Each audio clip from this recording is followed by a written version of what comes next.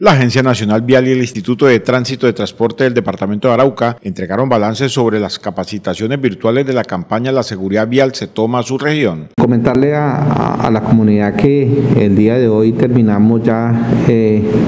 las capacitaciones virtuales y el programa que venía de la Agencia Nacional de Seguridad Vial, eh, La Seguridad Vial se toma a tu región.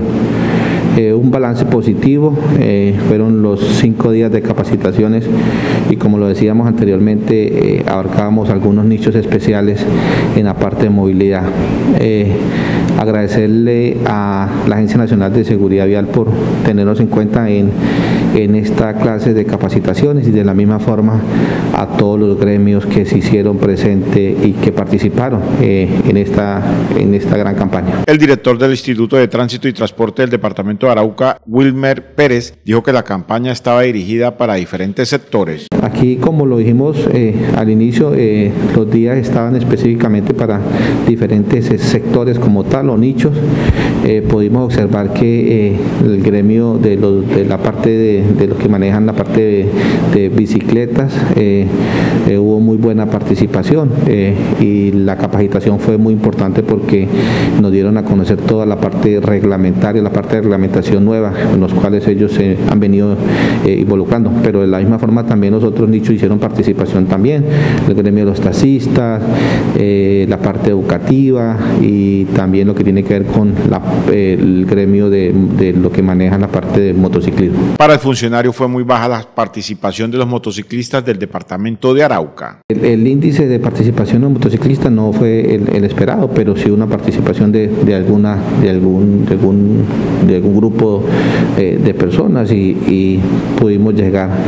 eh, a ellos. Eh, fue una gran capacitación, muy buena capacitación y creo que se cumplió con el objetivo que era llegar a algunas personas. También la comunidad no está acostumbrada a las capacitaciones virtuales y la falta de conectividad es otra de las problemáticas en Arauca. Es un poco complicado la parte de capacitación virtual por dos cosas. Uno, eh, si vamos a analizar la parte de accidentalidad en,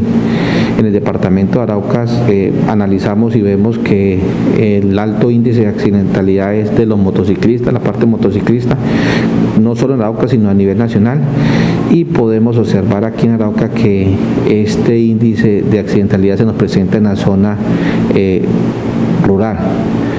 y si podemos ver eh, la conectividad y el, y, el acceso a la parte eh,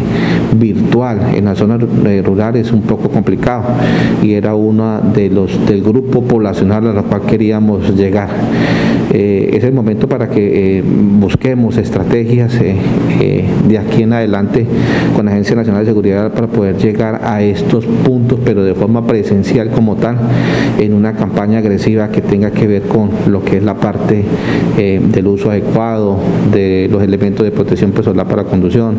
eh, todo lo que tenga que ver con el cumplimiento del Código Nacional de Tránsito. La campaña La Seguridad Vial se toma tu región finalizó el 30 de octubre con un balance positivo a pesar de las fallas del Internet en esta región del país.